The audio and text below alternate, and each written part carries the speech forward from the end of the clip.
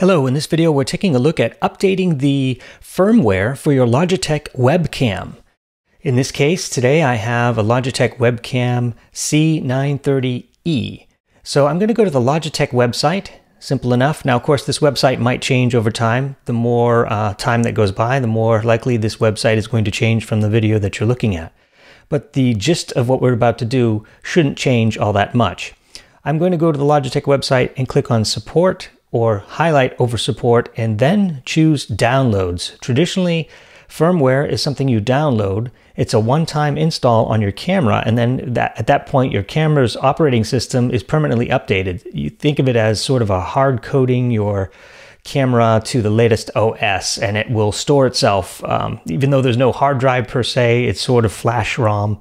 The camera can actually store its own operating system.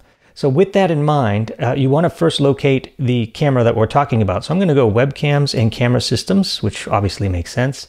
Then from here, uh, Logitech really makes it easy because they let you identify your camera by sight as much as they do by name, and that really can help. So I believe that the one I'm using here is the webcam C930E. And if you're ever in doubt with what camera you have, a lot of times you won't see the branding or the serial number anywhere on the camera itself. Uh, if you've ordered through Amazon, sometimes just go to your Amazon history and then you can get the actual version there of the camera that you have. I know it sounds crazy, but um, sometimes you buy these things, two years go by and you don't even know what you bought. You're just looking at it. So anyway, here's the webcam C930E setup. Now there is an option here that shows you how to set up your camera uh, videos. I'd probably, as a good idea to watch those as well. But for this point, I'm just gonna go to downloads and I know I'm in the right place because it's the downloads C930E downloads. And then uh, again, they do a pretty good job of explaining what's about to happen here. Upgrades firmware for the Logitech webcam C930. Why update? Well, because it has bug fixes and general improvements.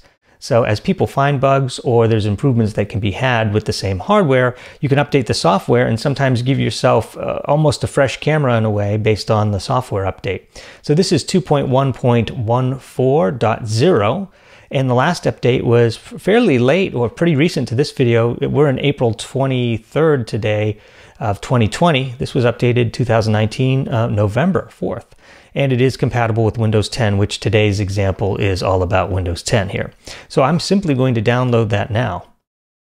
Now my camera is plugged in and available. So here, let me finish the download. I'm just gonna go to Save As. I love to download to my desktop. That way I can delete the installer and I can kind of see exactly what I have installed and what I don't. So of course, these are fairly small pieces of software. Now I could click run right, right here, but for the purposes of just being crystal clear, I'm going to hide the website here and hide the screen I had before. And you'll see right here, hover over it and take a look. It says FW Update C930 to 2.1.1.4.exe. So this is a little application. I'm going to double click it. Again, the camera has to be plugged in in order for this to work obviously, but some people will actually forget that step. They'll try to install firmware on a camera that isn't actually plugged in. So click yes, and we'll continue. Now here is pretty traditional installer, um, what you'd see in almost any Windows installer. And now it's going to launch the Logi firmware update tool. So this is the installer for the tool. Now we're going to actually launch the tool itself, and it should come up to the foreground and have a Logitech look and feel, which it does. And it does say here that the current version of the camera, now because the camera is plugged in, the software is smart enough to say, oh, you're using 2.0. Uh, 2.1 is now the update that's recommended. Your device does not have the latest firmware. So this is a good thing. That means that we're actually going to improve our camera today with this update. As simple as this is, uh, sometimes these little updates make a huge impact. So now I'll click Update Now. Now here is a final little agreement here, typical software stuff and it's going to show you the operation uh, that's in taking place and the total progress. Now, here's really important to pay attention. They'll tell you this, but a lot of people don't read it. Please do not unplug the device or the power supply during this firmware update because it's in a state of flux. You don't want to unplug the camera because at this point you could permanently ruin, ruin the camera where it won't be able to start on its own with its own firmware. Now, I don't know if that's actually a reality these days, but you don't want to unplug it. But it does say here, update 2.1, up to date, update completed. Hooray, today, total progress is done and I'll close it. So now I've just given my camera the latest firmware. So any bug fixes, uh, sometimes it improves performance, sometimes it improves maybe even the way it handles lighting or the focus. All of those things could potentially be improved. But uh, generally speaking, when you have the opportunity to update the firmware, do so. So that concludes this lesson. Uh, keep in mind your camera could be different, but essentially the same principles apply. A lot of these hardware devices need to be updated. Their firmware um, and when a manufacturer updates firmware like this, it's a sign of a good manufacturer, someone who's really paying attention, trying to improve things all the time, getting customer feedback, listening to feedback, and then making changes and improvements along the way.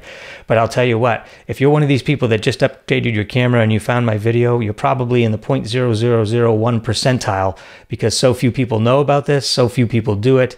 Uh, they're just not that geeky, that not that detailed. So uh, you're not one of those people. So congratulations, give yourself a pat on the back. You've, uh, if you're actually taking this step and actually updated your firmware, uh, you can be proud that you're one of the few and the brave. Thanks for watching. We'll catch you on the next one.